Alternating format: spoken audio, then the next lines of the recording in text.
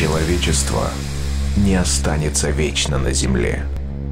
Но в погоне за светом и временем сначала робко проникнет за пределы атмосферы, а затем завоюет себе все околосолнечное пространство. Константин Эдуардович Целковский